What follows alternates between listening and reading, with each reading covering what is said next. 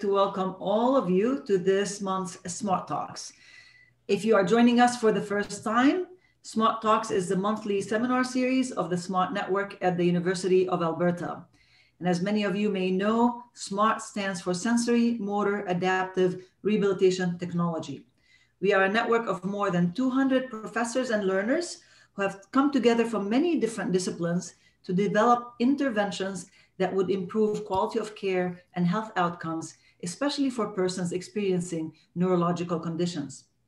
In today's last Smart Talks of the year, the nine recipients of the Innovation Fund Awards will each give a three minute presentation of their exciting innovation. They will take questions for two minutes after the talk and then questions at the end of the session. The Innovation Fund is a seed fund provided by the Smart Network and its business arm, ST Innovations. The fund supports the development of new innovations, and these innovations could be anywhere on the spectrum from discovery all the way to clinical validation.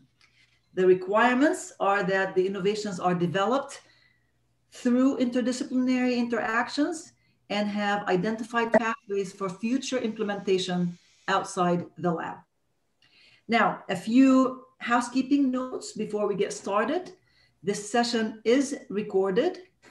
I encourage everyone to participate in the question period after each talk and at the end of the session.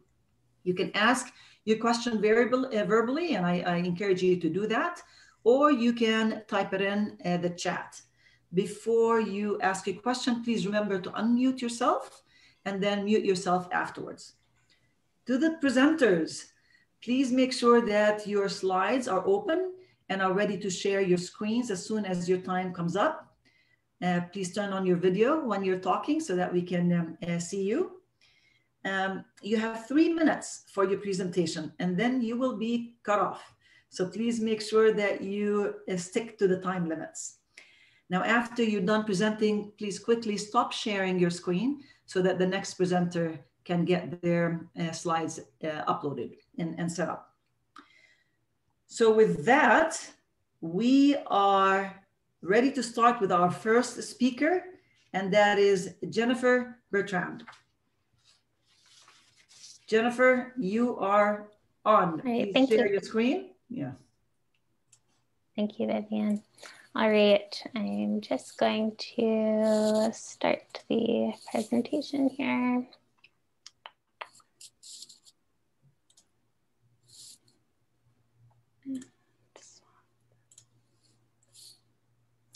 Okay.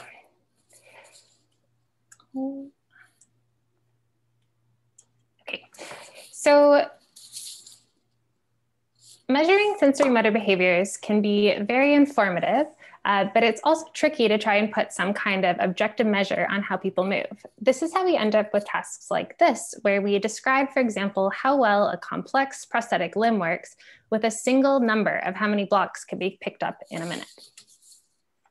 Some folks in our lab and collaborators with our lab have developed really informative measures to describe eye and hand or visual motor behaviors during functional movement tests. These measures have uh, even been collected from populations like prosthetic users, suggesting their usefulness in a clinical context. We wanted to extend this work further by adding brain data from EEG recordings, capturing a more robust picture of sensory motor behaviors. We called this Trifecta Lab, and we collected 70 subject uh, data set of synchronized eye tracking, motion tracking, and EEG, uh, which was a novel methodological feat in itself. Importantly, we have some very impressive software uh, developed by some of our own talented folks that allows us to visualize and segment our complicated data. This is what you're seeing here. This is the Trifecta Lab data represented using GaMA software, where all the moving body parts and objects are built off motion tracking data, and the pink line is the gaze vector built from eye data. On the head is the EEG data. However, while Trifecta Lab is really cool, it could never practically replace the box and blocks task. It's too expensive, time technically difficult to administer in any kind of applied or clinical setting.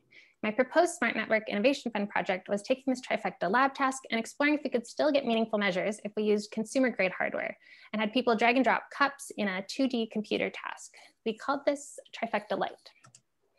We had just got this project up and running right before the pandemic started, having collected only some pilot data before in-person data collection uh, became impossible. So this was uh, pilot data that I shared in my June Smart Talk. Uh, but the pandemic has pushed us to explore new ways to get data. And as a result, we've moved to perhaps the most accessible version of a sensory motor assessment task that we could have possibly envisioned, fully online data collection.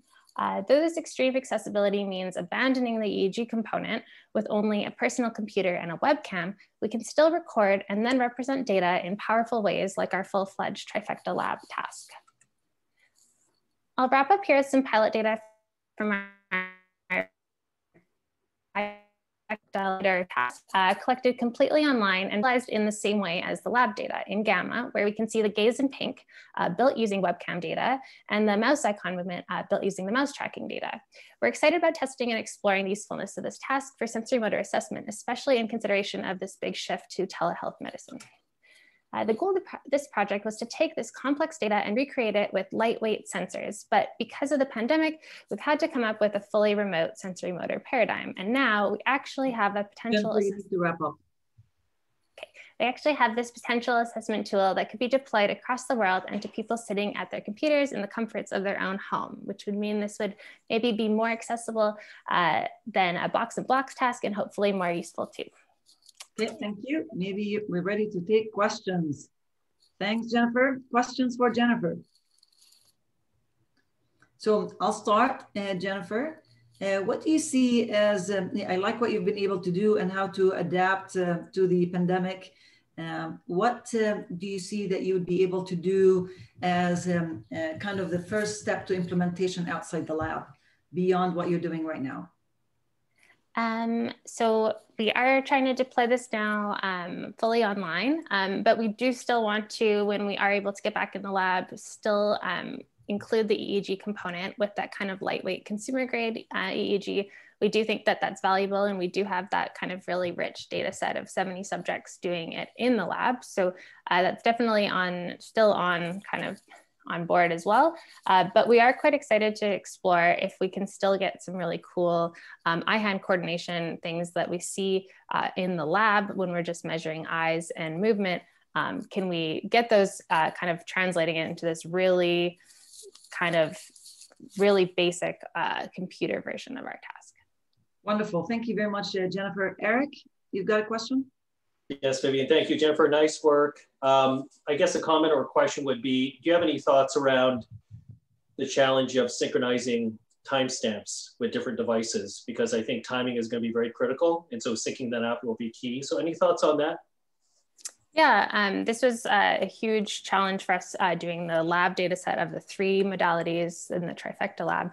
Um, and this was kind of able, we were able to kind of work through this um, uh, using some various software to timestamp that um, and bring those in with kind of the synchronous timestamps. Um, online, we're using a very cool platform um, that has been showing pretty strong um, ability to capture and, and really accurately timestamp using the computer timestamps, um, uh, really uh, like upwards of about, we think maybe we can get uh, we can get mouse tracking at about 60 hertz, and we can get eye tracking maybe closer to 30 hertz. Um, and so uh, the, the timestamps actually seem in that pilot kind of data I showed that was actually um, just kind of run over the internet. Um, and we can see kind of the alignment of the eyes and the mouse. And it's looking pretty good for what is just kind of a webcam that I'm using right now. Um, okay. I'm going to figuring out where things are. Yeah, great. Sorry, guys, we're going to stop, but there'll be time at the end. So uh, please um, uh, stay around. Um, okay, yeah. our next speaker, thank you, Jennifer. Our next uh, speaker is uh, Mojtaba Sharifi.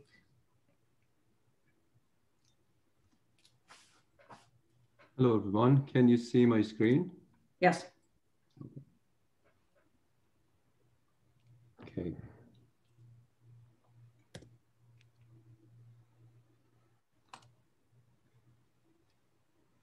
Okay. Hello. The objective of this project is assisting people experience a spinal cord injury and stroke. And we want to make them more independent in their daily living activities. As you may know and can see in this video, most of available exoskeletons and robots for this purpose have rigid linkages with high inertia and powerful actuators at discrete joints. So this resulted in safety issues, low acceptability, and difficulty of using them. So our solution to this challenge is develop, development of an upper limb exoskeleton with soft actuators and soft mechanical structure. And this would be intrinsically safer and significantly lighter and biomechan biomechanically more compatible with the human tissue.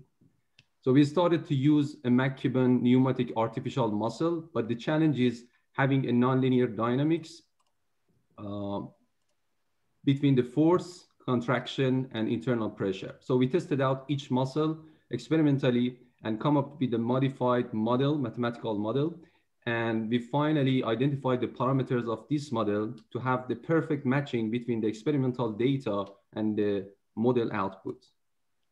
A shoulder mechanism is designed as the first version of this system. Different parts were manufactured by 3D printing and machining. A microprocessor and other electrical boards are used as the control hardware and the real-time environment of Simulink is employed as the control software. So obviously we have faced some challenges in the design and manufacturing and control, and we resolved all of them over the past couple of months.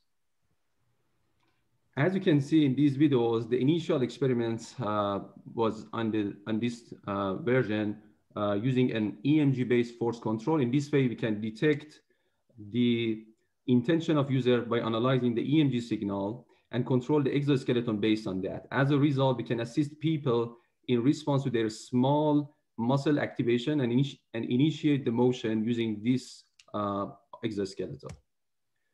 The second version of this system was also manufactured, which includes the elbow motion in addition to two joints of the shoulder.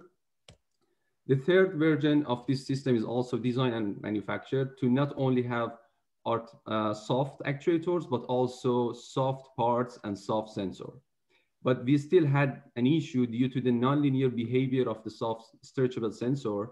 And we identified this behavior using several experimental tests. So different mechanical parts and cuffs uh, were 3D printed using soft materials. And in, in the next step of this project, we will modify and optimize our current design and also have more experimental evaluations on them. Thank you very much. Perfect. Thank you very much, uh. Questions for Mojtaba?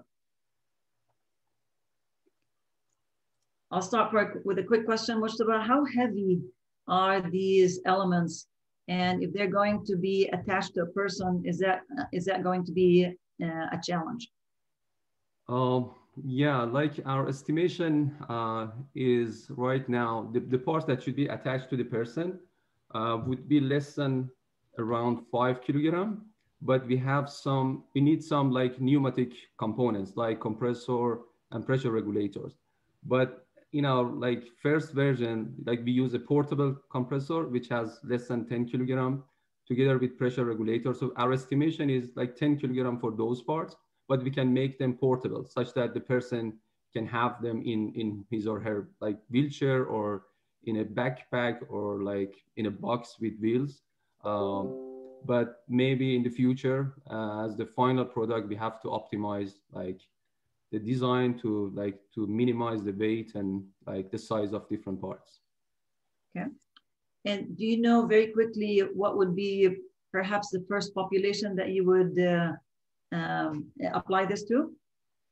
Um, like we have some like collaborations with uh, Glenrose Hospital, but uh, so we are looking forward to to use it for people with disabilities, including like uh, spinal cord injury or like post-stroke ones.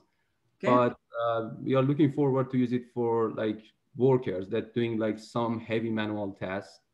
That's the other application, but it depends on the requirement in the future. Bernal, we've got uh, time for a very quick question. Okay, I just wanted to know how do you interface with the person to give commands to the to the uh, biomechanical or mechanical equipment? Sorry, can you repeat? I, I couldn't hear the first part of it. Uh, how does the patient uh, interact with the with the hardware? What what's the way the person can convey orders to to the hardware? You mean that uh, where the like have physical interaction with the hardware?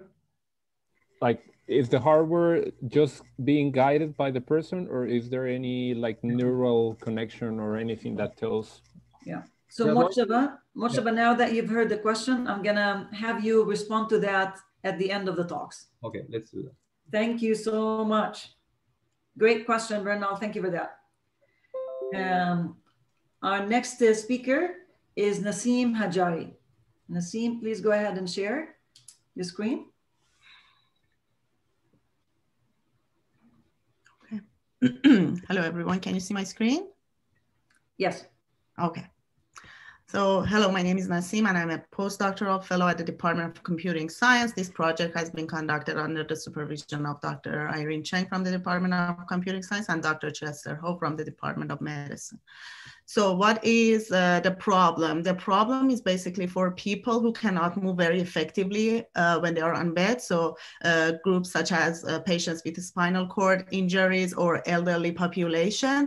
And uh, these group of people are at higher risk of developing pressure ulcer or pressure injuries because of the, um, uh, the blockage of the blood flow. And so basically, right, this condition can be life-threatening in its later stages. And common practice right now is uh, the healthcare provider basically um, changing the posture of the patients in fixed interval, which of course has its own shortcomings. And uh, in this project, we um, uh, propose a, a, an approach to automatically detect um, uh, posture body from the 2D pressure signal, or as we call it, pressure images, and then uh, basically uh, detect the different body parts and uh, track the associated um, pressure values over time because uh, pressure ulcer is a multifactorial development and the mo uh, two most important factors are the amount of pressure as well as how long this pressure is applied.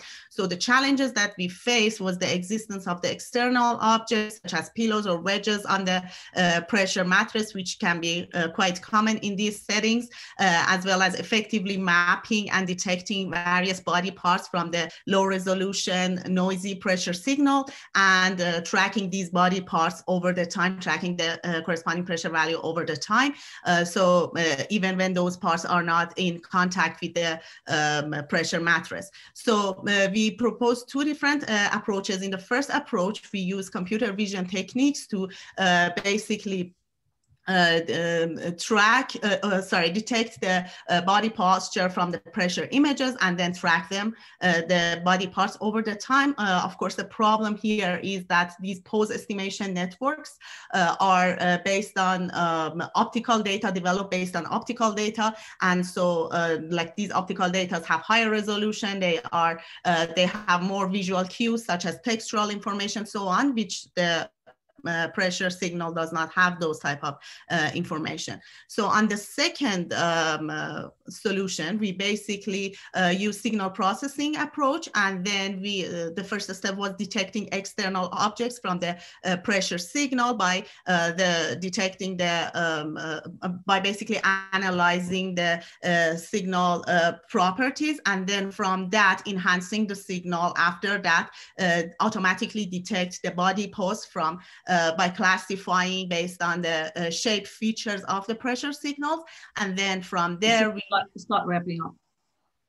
Yeah, okay. And then from there, we basically uh, detect the body parts and then track the values over the time. So thank you. Wonderful. Thank you so much, Nasim. Questions for Nasim? And, and, and I'm going to start.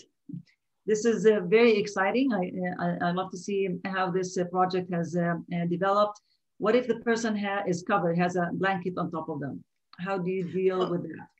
Exactly. So the blanket on top is not uh, as problematic as having a pillow or wedges on the pressure mattress because basically what we are um, uh, like recording is the surface pressure, which is the pressure uh, like with the skin um, and like uh, the underlying structure, which is pressure mattress here.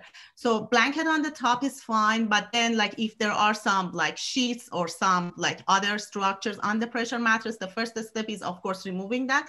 And it is quite novel, like to the best of my knowledge, no one really has tried to basically remove this type of uh, like uh, unwanted um, information from the signal before. So that's great. Uh, Craig, you got a question? Yeah, that's a really cool approach. I'm just wondering, are you using sort of deep learning approaches for your essentially what becomes some some kind of pose estimation of the exactly. pressure data?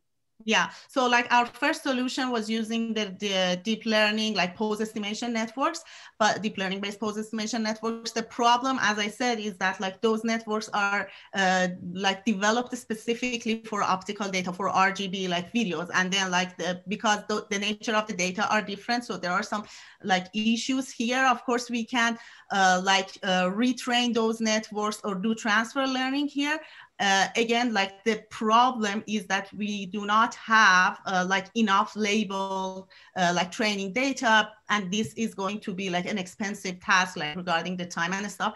Uh, also, like uh, we, mm, like mm, basically detecting the body parts from the pressure signal is not always quite straightforward because of the like visual and the resolution problems.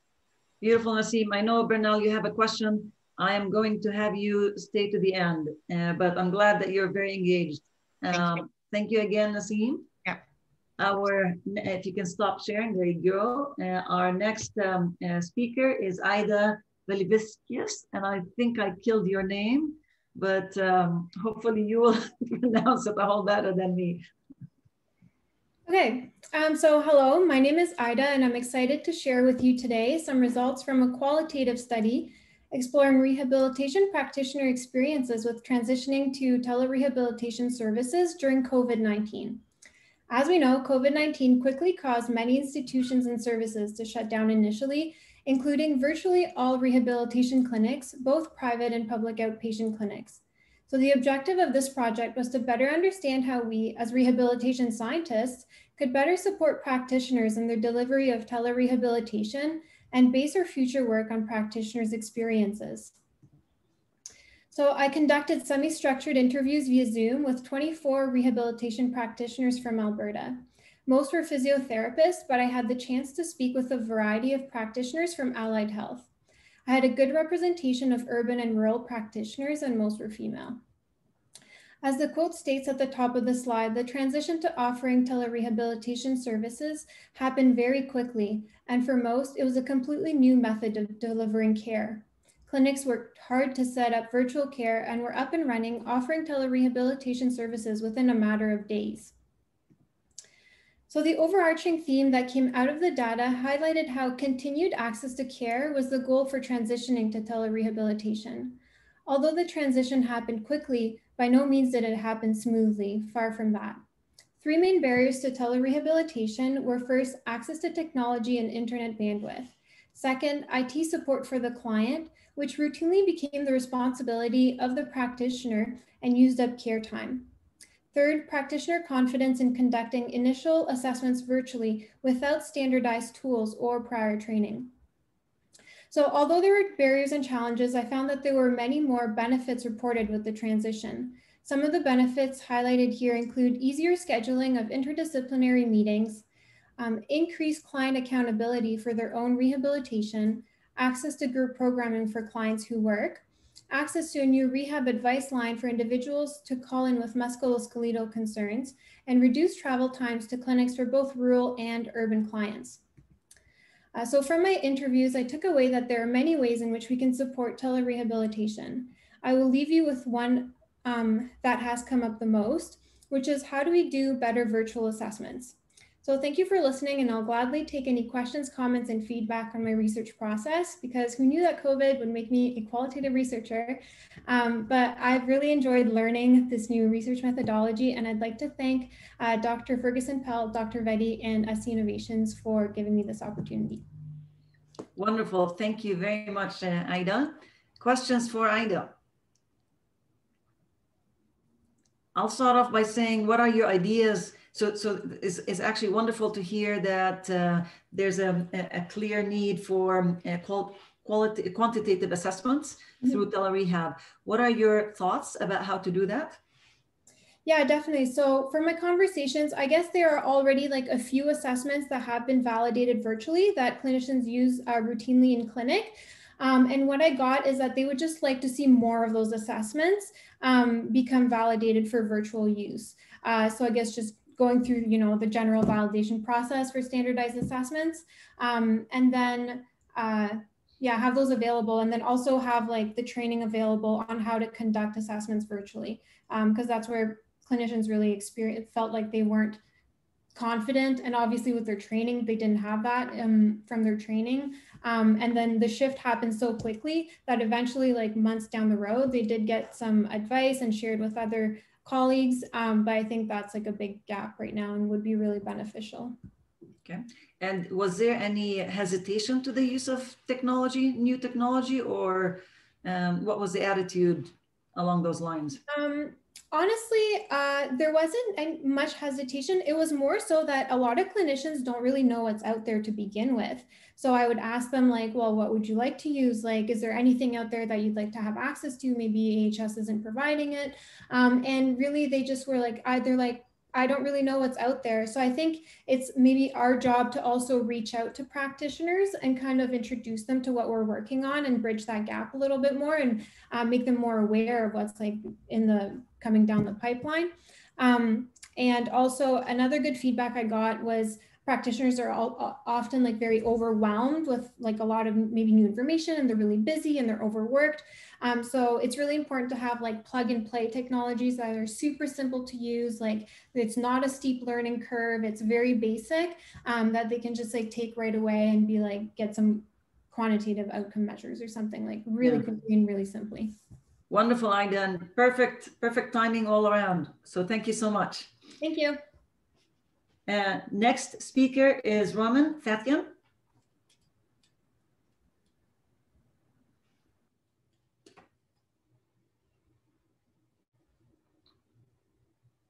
Ramin, make sure that you're unmuted and you're sharing. We're seeing a mountain in an, we're seeing an island. There you go. Now you should see it. All right. So what we want to do is measure, control, and improve. Personal hygiene directly affect our wellness, and we all know that uh, monitoring personal hygiene is not easy. People touch their faces more than 20 times per hour on average. Even during COVID-19 pandemic, the number of face touches is still high, which could increase the risk of getting infection. It was observed that even people suspected to have COVID-19 touch their face more than 15 times per hour on average when they're waiting for the COVID-19 test. Well, it seems not touching face is harder than it sounds. So there is a necessity of accompanying personal monitoring system to remind avoiding these high risk activity in a form of feedbacks. We have, we have developed a solution which make it possible to monitor the face touches, control and improve this habit. Our solution is an expensive, accurate, and easy to use technology which can, uh, which can monitor your habits and help you control and improve it. AI-powered face touch detection technology which could be employed on any wrist-worn sensor. The way it works is each time that you touch your it, face, it detects the face touch and give you feedback. The feedback mechanism helps you to change the face touch habits. Now the question is how it detects the face touching. Well, inertial data representing hand motion is obtained from the wrist-worn sensor, which could be Apple Watch, Fitbit band, or any smart uh, wearable. Then similarity of hand motion and face touch is investigated using, using dynamic time warping technique and detects whether, whether it was a face touch or not, or not using a trained KNN model. We validated our solution during both stationary and non-stationary activities. stationary activities uh, means when you are sitting somewhere and working with your computer, your mobile phone, or doing any other activity. And non-stationary activity means when you are doing your daily routines like walking, cooking, drinking, or doing any other activities.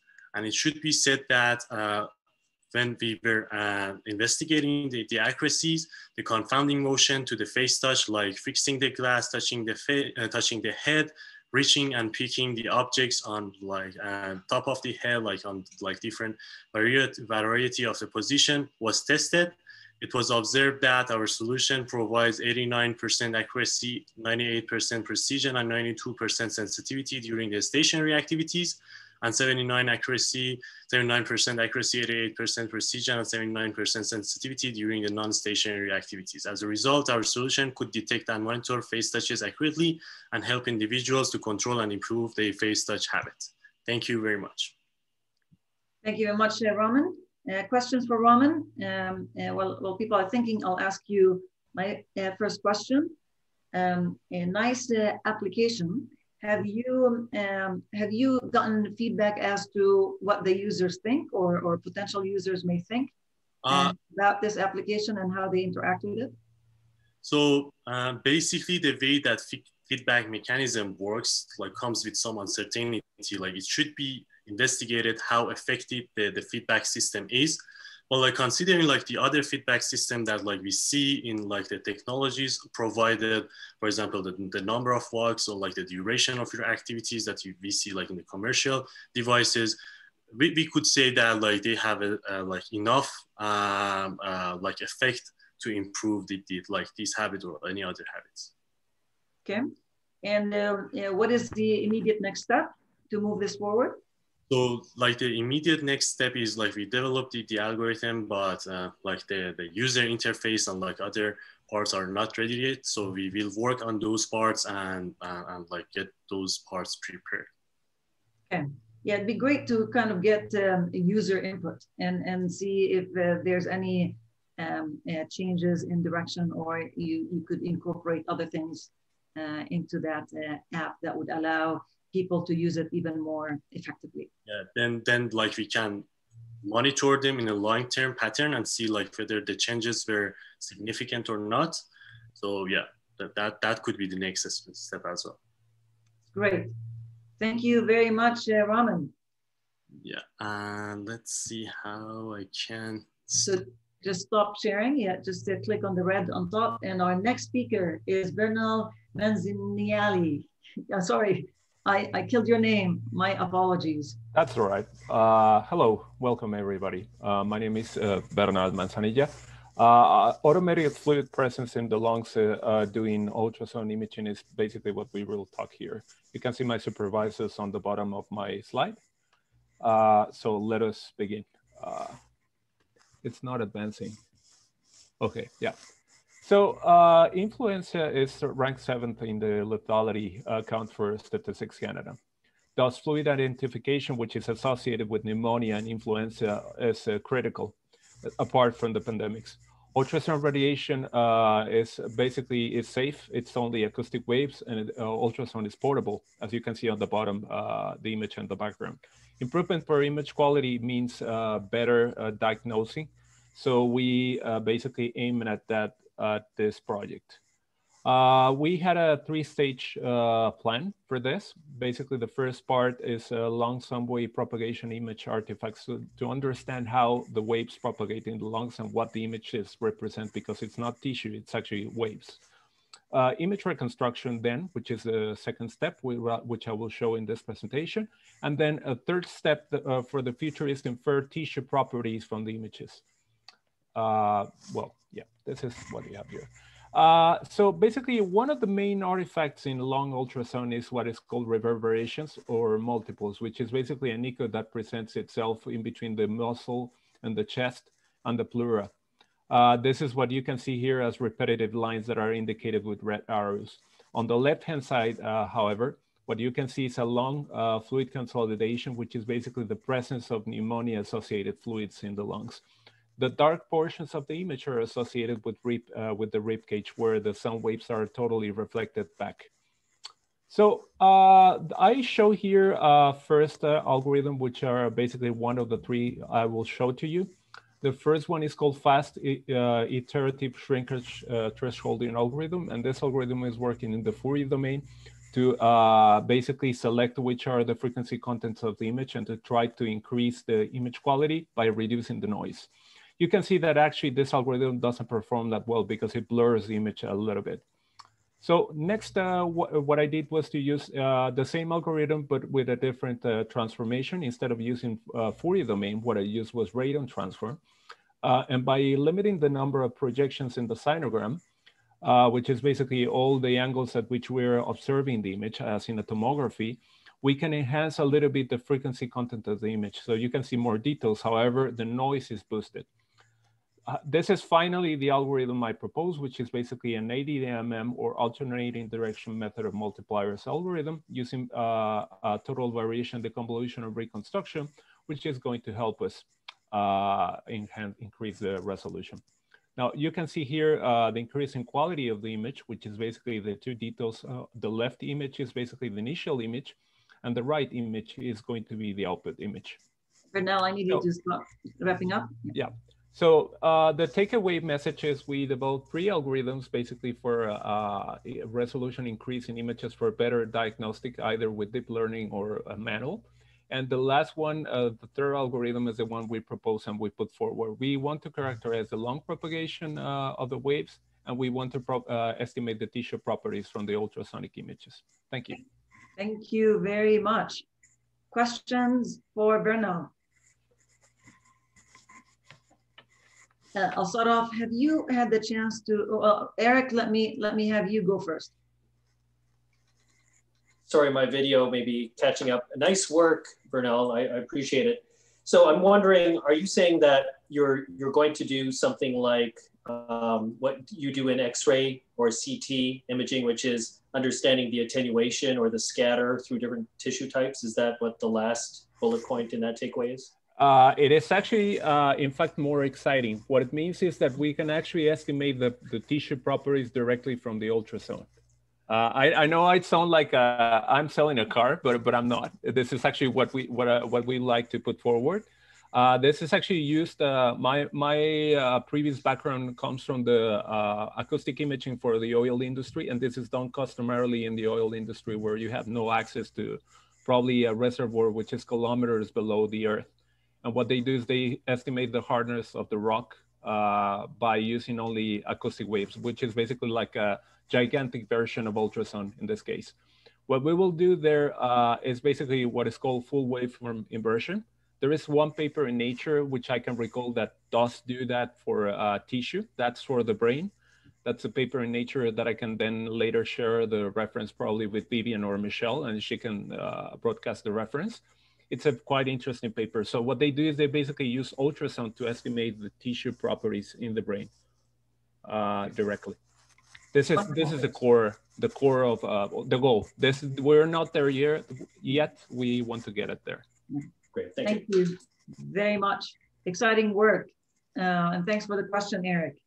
All right, our next speaker is joining us from the airport. Therefore, he sent his video and I will share my screen uh, so that you can see his video. Let me just see.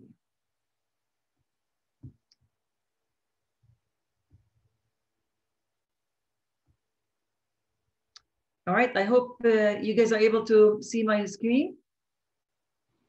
Someone unmute yourselves and tell me yes or no. It's not showing, Vivian. No, Vivian.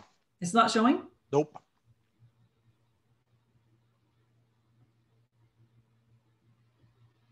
Okay. Is it now working? Yep. Yes. Okay. All right. So we'll start right now with uh, Matheus Mussi. Hello, everyone. Uh, I'm really sorry that I couldn't participate in this event live, but I thank you very much for the opportunity of allowing me to present this project. And my name is Matheus Gonçalves Mussi, and we are going to start now explaining why this project is important.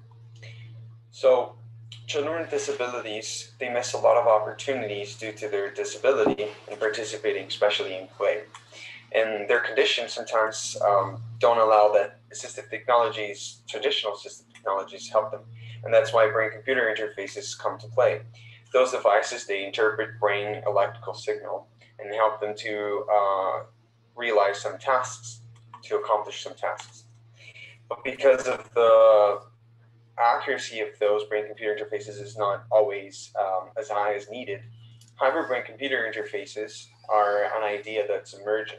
So using multiple inputs um, may improve the performance of those systems. So what we're going to be doing in this project is basically develop and test hybrid brain-computer interfaces And the way that's going to happen is that we have a display and a monitor that's going to show an SSVEP and P300 paradigm at the same time. The brain is going to um, generate the waves uh, while looking at those stimuli. And then those uh, two responses are going to be detected by our system and then classified. And the classification is going to be used for uh, realizing different types of uh, activities. The way our display is going to work is that we are going to have uh, three different uh, blinking elements that are going to be blinking at different frequencies. Uh, that's the SSVEP component of it. And then we're going to have a blinking uh, border, which is going to be uh, changing locations at different times, which is going to be the P300 stimulus. This project is going to be tested in two stages. In the first stage, we're going to test the system with adults with and without disabilities using a user-centered design. We're going to iteratively ask them how we can improve the system. And then we're going to try to implement all of the changes they, they uh, indicate. And then once that system is uh, improved, we're going to test it on, on the second stage with children with disabilities. And that we're going to use a single subject research design. Um, and then we're going to see if the hybrid BSAD compared to a single input brain computer interface actually had any improvements. And then once the system is tested, we can start testing it uh, in different sites. So the I CAN Center on the Glenrose Rehabilitation Hospital will be probably the first one where clients can test the system and see how it goes. And then we have other two partners in the BCI Canadian network, which are located in Toronto and Calgary. Other than that, we're also interested in maybe offering the system to um, companies that are focused on clinical or gaming purposes and see if we can uh, apply this technology for any of those purposes. So before I end this presentation, I would like to acknowledge all the foundations and institutions that have helped uh, this project so far, the Smart Technology Innovation, the Glenrose Foundation, and the Alberta Innovates through the SPOR Support Unit. Thank you very much for the opportunity and thank you very much for your attention.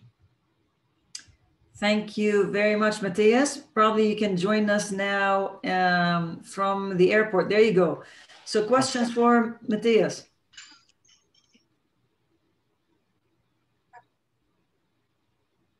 Am I hearing a question? Sorry. Okay, so let me start off. Uh, Matheus, what do you expect to see the difference to be between adults and uh, children? Um, and what would you learn from adults that you would then apply to children versus why not start with children to start with?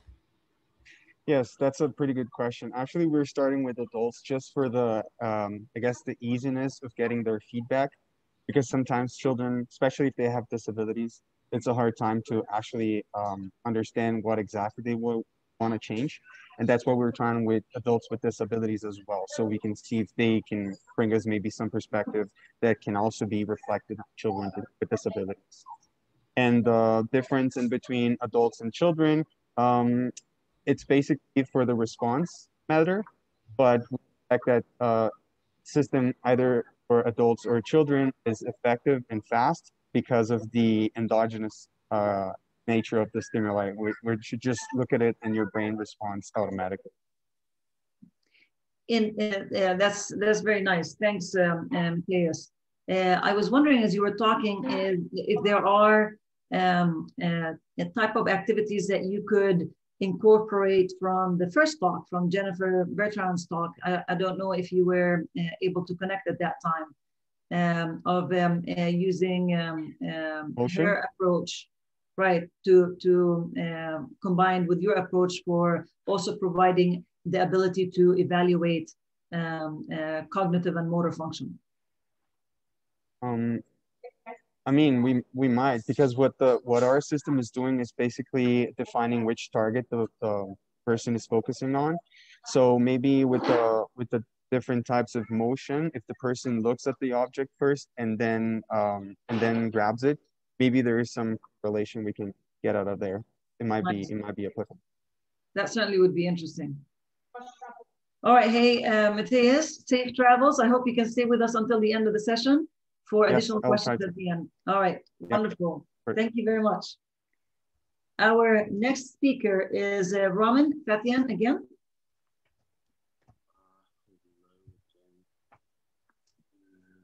guess you can see my screen now, right? Yes. Awesome. So in this presentation, I will talk about in-field assessment of risk of repetitive strain injury of shoulder in wheelchair users using wearable sensors. Individuals with neuromuscular impairments such as spinal cord injury frequently use a wheelchair for ambulation because of uh, their impaired working function. In Canada, we have 86,000 of individuals with spinal cord injury and 3,400 new cases each year.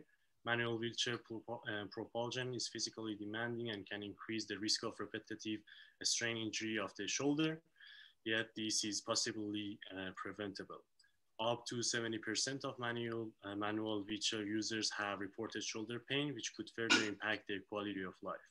So the aim of this project is to to reduce the prevalence of shoulder injury. The forces applied to the hard and soft tissues of the shoulder joint are associated with the risk of repetitive in, uh, strain injury of the shoulder. Previous studies have clearly illustrated an uh, uh association between propulsion-related parameters and the risk of shoulder injury. For example, it is recommended to decrease the propulsion frequency, uh, increase the push angle, and use smooth semicircular hand trajectory over the pushing to modify the forces applied to the shoulder joint tissues, and thus lower the risk of shoulder injuries. A range of instruments is needed to assess these parameters. Motion capture camera can be used to study hand and arm motion, and uh, like in addition, a force measurement device called SmartWheel can be used to measure forces applied to the push rim, which enables the calculation of applied force on the shoulder joint via inverse dynamic. Although the, the result of these instruments are accurate, they are not available to a majority of wheelchair users for ongoing risk assessment. Therefore, there is a need for an alternative and accessible solution to monitor the shoulder motion biomechanics and reduce the risk of shoulder injury for the wheelchair user. A wearable inertial sensor or IMU have the potential to measure these parameters uh, instead of the cameras and smart wheel. IMUs are accurate, easy to use and inexpensive. IMU, uh, like using the IMUs, we have the opportunity for long-term monitoring of the patients in their national, natural environment and using their own wheelchairs. Finally, using the IMU, we can measure the propulsion-related parameters, control the risk factors by real-time feedback, modify the propulsion, and decrease the risk of shoulder injuries, and like as a result, improve the life quality of the wheelchair users. Thank you very much. And yeah, any question? Wonderful. Thank you very much, uh, Roman. Questions for Ramin? Can I ask a question? Yeah, sure. Of course. Uh, Ramin, uh, how do you calculate or measure the force of the human over the wheelchair? Like you said that you have IMU and you're using maybe acceleration data.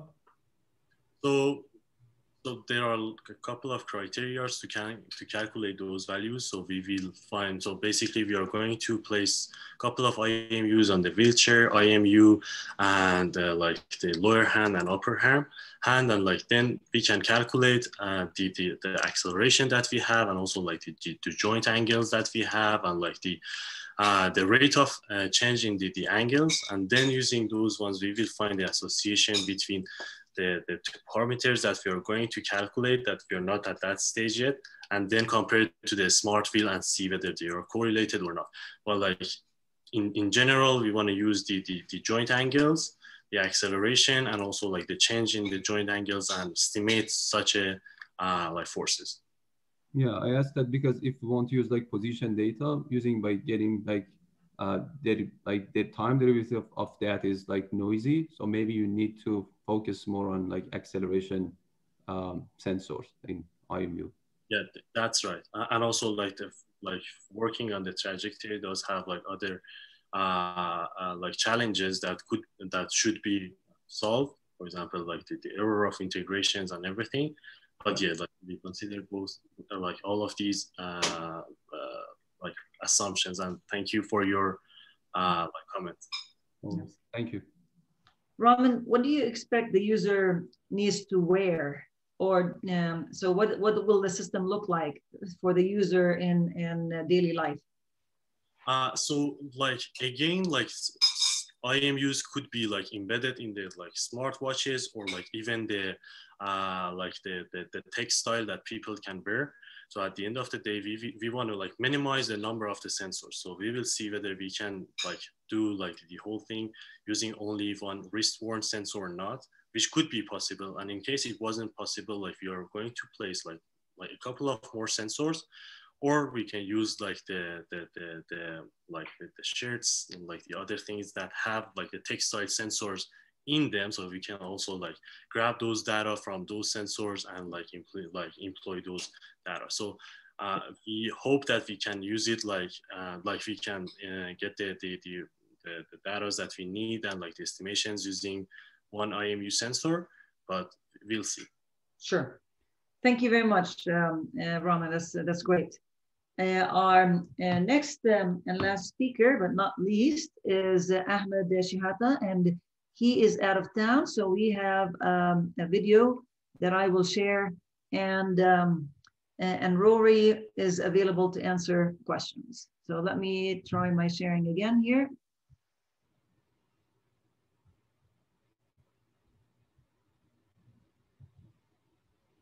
Okay.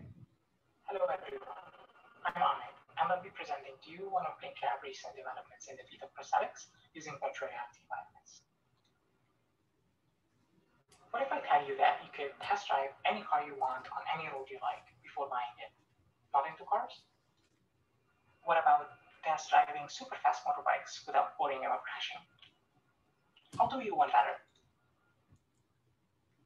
A prosthetic hand can be as expensive as a car. Actually, some of them are half a million dollars. Don't believe me? Ask Jackie and Patrick about the MPL. What if, I, uh, what if we can tell persons with upper limb amputations that they can try any prosthetic device, any robotic hand combined with a preferred controller and sensory feedback system before committing to it. This is possible using virtual reality simulators. Training to use a prosthesis in advance of receiving one can be valuable and may improve acceptance. Current training platforms require a physical system and are limited by the cost of, of hardware and technical expertise required to assemble, maintain, and utilize these physical systems.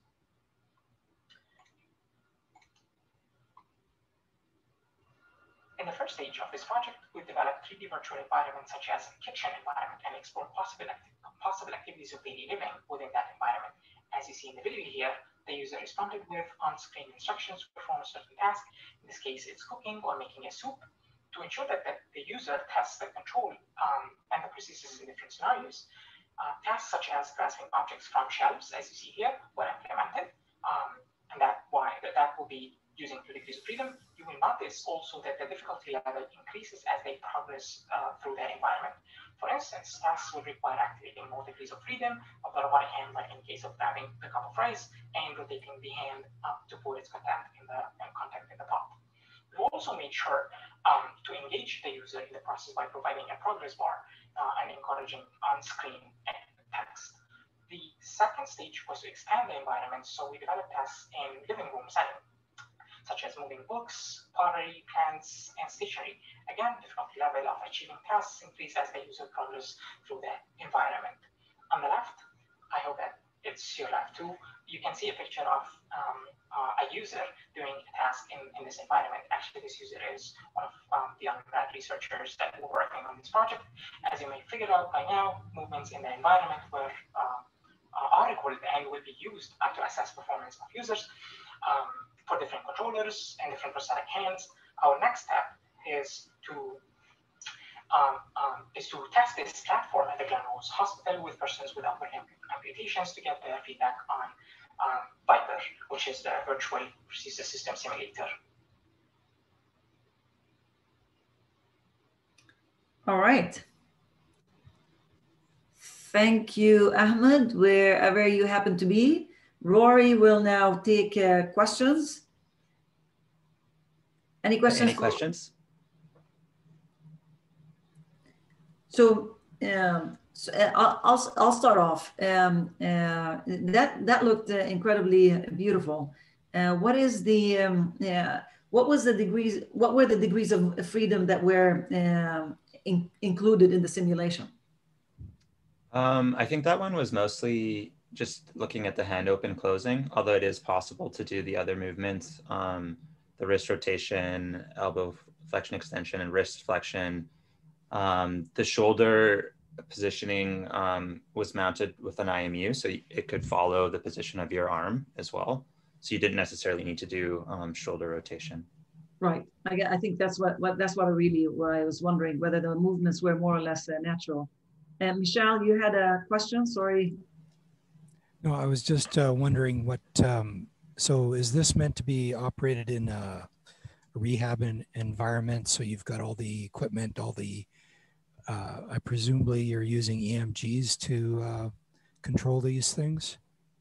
Yeah, like I think in the demos, he was just using a joystick, but the idea is that you would use an electromyography band on the residual limb that the, the patient, um, the missing limb would be able to control the arm. Um, and then the first stage is yeah, to get it into the clinic in kind of a virtual reality space. Um, and then the next step after that is to see if we can use it for take home training as well. Okay, thank you very much. That's yeah, wonderful. Thank you very much, uh, Rory and, and the whole team. Uh, it'll be very interesting to see how uh, persons with amputations are uh, interact with that and what they think about that. So hopefully we'll hear more about that in the future. With this, we have our nine speakers. We have a few minutes to catch up with questions that others needed to wanted to ask, uh, but uh, but did not get the chance. So uh, I will give um, uh, the first question to um, um, to Bernal because um, I, I, cut you off uh, for one of the um, uh, talks. Are you are you still ready to ask a question? Absolutely. So uh, basically, uh, I, I don't know if you you you specifically had a question, right, Vivian? Like you you had. Uh, uh, so there, so you asked the question of Mojtaba, and we did not. Oh, okay, okay. Get him to answer, yeah, but then you also had a question. You had your hand up after yeah. uh, Nasim's um, uh, question. Uh, so, Nasim's presentation. So basically, for uh, the first question was, how do you interact with the with the mechanism? Like for the case of the the the person that is being aided by this mechanism, is there any like uh, connection but via electrodes or anything that is reading, or is it only like sensors that are, uh, uh, you know, moving the actuators depending on the pressure of uh, probably the, the, the joints or something? Yeah, uh, as I mentioned in my presentation, now we are using EMG. So mm -hmm. we can have a kind of estimation from the muscle activation. Okay. Uh, and that that's one solution to to identify or detect the intention of user like in what direction the person wants to move and how much is the activation of that.